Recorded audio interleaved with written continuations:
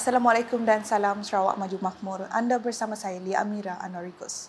Tumpuan berita, selepas 60 tahun merdeka dan diberi kuasa untuk memerintah, semangat untuk mengisi kemerdekaan tidak pernah luntur. Sebaliknya terus diperkukuh melalui usaha para pemimpin masa kini dengan sokongan padu daripada rakyat Sarawak. Premier Sarawak Datuk Petinggi Tan Sri Dr. Abang Abdul Rahman Zohari Tun Datuk Abang Oping berkata, tempoh 60 tahun yang telah dilalui sejak mencapai kemerdekaan daripada British merupakan era untuk mengisi kemerdekaan agar kebebasan yang dinikmati menjadi sesuatu yang bermakna kepada negeri ini dan rakyatnya. Sehubungan itu, beliau ingin mengajak semua rakyat Sarawak untuk mengenang sejenak pengorbanan para pemimpin terdahulu yang telah memperjuangkan kemerdekaan Sarawak sejak 60 tahun yang lepas. Beliau berkata demikian dalam perutusan buku Cenderamata sempena sambutan Hari Kemerdekaan Sarawak ke-60 yang berlangsung di Padang Merdeka Kuching pada Sabtu.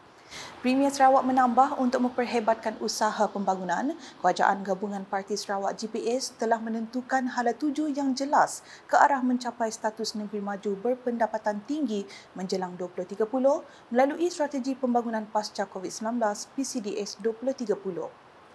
Jelas beliau PCDS 2030 yang sedang dilaksana adalah berteraskan kemakmuran ekonomi, keterangkuman sosial dan kelestarian sumber yang telah membawa Sarawak untuk terus meneroka potensi-potensi kekayaan baharu khususnya ekonomi hidrogen, pembangunan sumber-sumber tenaga boleh diperbaharui termasuk hidro, bahan api, penerbangan mampan SAF daripada alga dan tenaga solar, perdagangan karbon dan industri penangkapan, penggunaan dan penyimpanan karbon CCUS. Malah Premier Sarawak memaklumkan Sarawak terbukti kehadapan berbanding negeri-negeri lain di Malaysia dan juga di rantau Asia Tenggara dalam usaha membangunkan potensi-potensi baru ini ke arah menangani perubahan iklim dunia sejajar dengan Perjanjian Paris 2015. Dalam kesempatan itu, Datuk Petinggi Tan Sri Ahmad Zohari menyeru agar semangat segulai sejalai perpaduan rakyat yang berbilang kaum dan agama di negeri ini terus diperkukuh kerana pembangunan ekonomi yang mampan hanya boleh dicapai dalam suasana sosial yang aman, damai dan iklim politik yang stabil. Beliau juga mengucapkan syabas dan tahniah kepada semua ahli jawatan kuasa penganjur sambutan perayaan 60 tahun Sarawak Merdeka yang telah bertungkus lumus untuk memastikan semua persiapan pelbagai acara yang dirancang dapat berlangsung dengan jayanya. Berita selanjutnya, Kerajaan Sarawak diberikan kuasa oleh Kerajaan Persekutuan untuk pengeluaran semua permit dan lesen vessel tanpa merujuk kepada Jabatan Perikanan Malaysia. Timbalan Premier Sarawak Dato' Amar Douglas Ugah Embas berkata perkara itu telah diputuskan menerusi mesyuarat jawatan kuasa Teknikal Perjanjian Malaysia 1963 MA63 yang diketuai oleh Timbalan Perdana Menteri Datuk Seri Fadilah Yusof di Putrajaya baru-baru ini. I think that is one of the issue that was decided that the federal government actually have given empowerment to Strava to issue deep sea license. Uh, but uh, they're only giving Sarawak to issue license for C2 only. So during that meeting, uh, we present our case. Uh, we want them to give us all the all the power to give all the license penangkapan ikan palatan zone A, B and C. And uh, the meeting agreed. That means that, that now the power will be vested uh, diberi kuasa kepada uh, kerajaan negeri Sarawak menambahkan kuasa yang telah dipersetujui dalam mesyuarat uh, dahulu. Beliau berkata demikian dalam sidang media selepas menyempurnakan Majlis Kesyukuran Agama-Agama Lain 2023 bersempena sambutan perayaan 60 tahun Sarawak Merdeka bagi mewakili Premier Sarawak di Kuching pada Jumaat. Datuk Amar Douglas Ugam menambah kerajaan Sarawak juga diberi kuasa untuk menentukan persempadanan antara perairan laut dan perairan darat Sarawak. Kita juga minta uh, Persekutuan memberi kuasa untuk menentukan persempadanan antara perairan laut dan perairan darat negeri Sarawak now is very confusing. So we want to have a very clear uh, authority so that it clearly define, easy for the enforcement agency to carry out their work. Selain itu, beliau memberitahu Majlis Tindakan Pelaksanaan MA63 telah bersetuju dengan jawatan kuasa yang akan dipengerusikan oleh Menteri di Jabatan Perdana Menteri Hal Ehwal Sabah Sarawak dan Tugas-Tugas Khas Dato' Armizan Muhammad Ali dan dianggotai oleh Kementerian Pengangkutan Malaysia serta Kementerian Pembangunan Infrastruktur dan Pelabuhan Sarawak bagi menyiapkan laporan penuh dan mengemukakan cadangan proses penukaran status Pelabuhan Bintulu tersebut dalam masa yang terdekat. Jelasnya cadangan ini akan diberi kepada jawatan kuasa teknikal perjanjian MA63 sebelum ia dibawa ke kabinet untuk keputusan selanjutnya. Now there is a subcommittee being tasked uh, headed by the minister in charge of Sabah and Sarawak.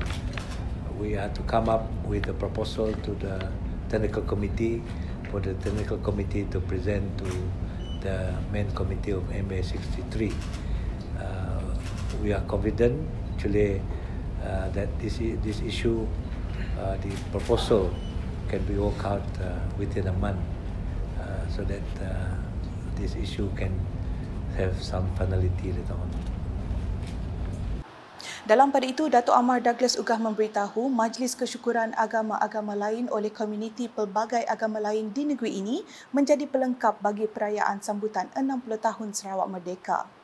Berucap semasa mewakili Premier Sarawak dalam majlis kesyukuran itu, beliau berkata setiap penganut agama-agama lain berpeluang mendoakan kesejahteraan dan kemakmuran Sarawak.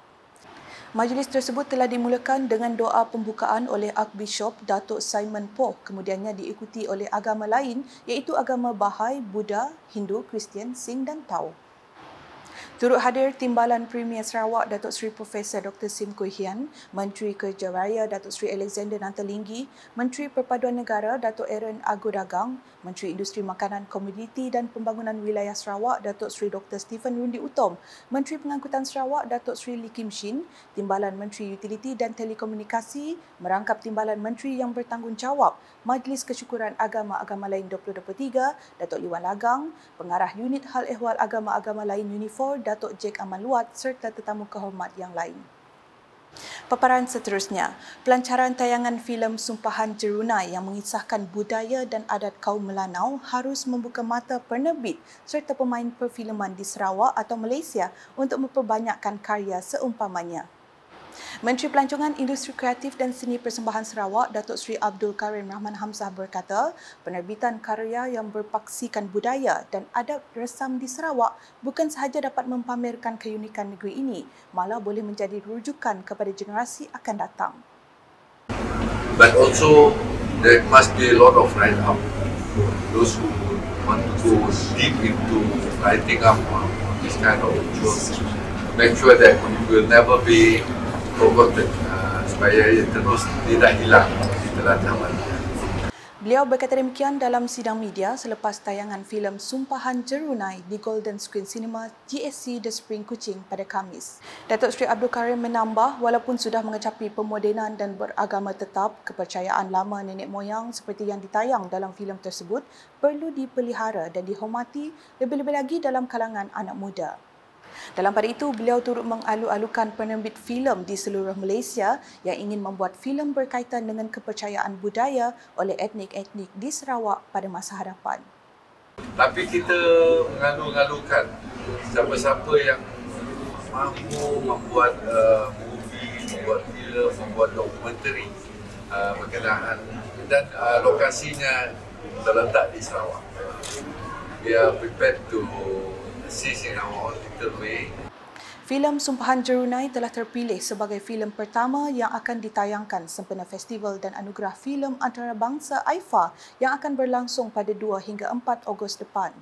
Selain itu, filem Sumpahan Jerunai akan mula ditayang di seluruh pawagam GSC di seluruh negara bermula 27 Julai ini. Beralih kepada laporan temu bual mengenai perayaan sambutan 60 tahun Sarawak Merdeka. Sejak mendapatkan kemerdekaan pada tahun 1963, dasar-dasar kerajaan Sarawak tidak pernah bersifat ekstremis. Sebaliknya bertujuan untuk kepentingan dan kesejahteraan rakyat tanpa mengabaikan mana-mana kumpulan atau komuniti. Menurut ahli Dewan Undangan Negeri Adun Kota Sentosa, Wilfred Yap Yausin, setiap dasar yang dikemukakan sejak dulu hingga kini dibuat melalui perundingan dan berdasarkan prinsip kompromi melibatkan semua kaum di Sarawak. Katanya sehingga ke hari ini, kerajaan di bawah kepimpinan Premier Sarawak Datuk Petinggi Tan Sri Dr. Abang Abdul Rahman Zohari Tun Datuk Abang Openg mengambil pendekatan strategik dan berfikiran jauh ke hadapan dalam merancang serta melaksanakan dasar yang memberi manfaat kepada rakyat dan negeri ini secara menyeluruh. Sehubungan itu, beliau menyuarakan rasa teruja dan bangga sebagai rakyat Sarawak atas pembangunan dan perkembangan signifikan dalam pelbagai bidang ekonomi, sosial serta infrastruktur yang telah dicapai dalam tempoh 60 tahun di bawah kepimpinan pemimpin yang berwibawa. Dan uh, kita dapat lihat uh, selepas uh, yang amat berhormat Premier kita, Datuk Patinggi Abang Johari bila dia mengambil alih sebagai Ketua Menteri lepas tu ditukar nama kepada Premier kita dapat lihat uh, banyak inisiatif dia yang ber, berwawasan. He's the one who started uh, digital economy pada 2018 dan dia juga mengemukakan inisiatif uh, ekonomi hijau, ekonomi digital. You can see that uh, even now the new the penanaman algae sebagai sumber uh, aviation fuel and uh, penyimpanan carbon carbon storage sebagai sumber pendapatan. So those are very very modern and very very uh, futuristic initiative. And uh, saya salute dia lah. Dan saya berharap dia akan teruskan usaha dia untuk mengemukakan lebih banyak lagi inisiatif Beliau berkata demikian semasa ditemu bual UKAS di Kuching pada Jumaat. Sementara itu, sebagai wakil rakyat, Wilfred turut menyatakan kebimbangannya mengenai segelintir ahli politik yang menggunakan isu-isu agama untuk mencari sokongan. Mengenai masalah ini, beliau menekankan kesatuan dan nilai perpaduan sebagai kunci untuk pembangunan negeri yang lebih pesat. Masih ada ahli-ahli politik yang uh, cuba nak memperjuangkan uh, hak kaum uh, menggunakan uh, isu-isu agama untuk mendapat sokongan mengapi-apikan rakyat untuk kepentingan sendiri. Untuk membuat uh, apa ni uh, sebagai uh, macam mereka adalah jago kaum jago kampung macam itulah cara macam tu. So i think those kind of uh, perbuatan is not good for our nation as a whole That means we we do not resort to politicking lah. I think what is important now is apa yang penting. Kita kalau kita lihat satu masalah, kita berunding, kita buat cari jalan untuk menyelesaikan masalah. Kita mesti bersatu padu dan menerapkan nilai perpaduan supaya bangunan uh, negeri Sarawak ini akan lebih uh, cepatlah.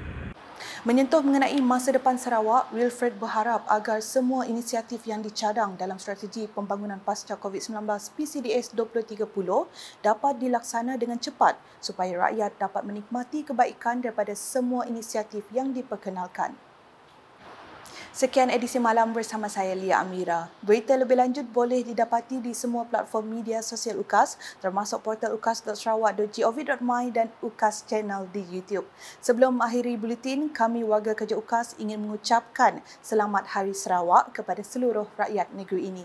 Kami juga ingin mengajak anda untuk menyaksikan pelbagai acara menarik yang akan berlangsung sempena perayaan sambutan 60 tahun Sarawak Merdeka yang berlangsung di Padang Merdeka Kuching esok. Hashtag menyebar fakta, salam ukas.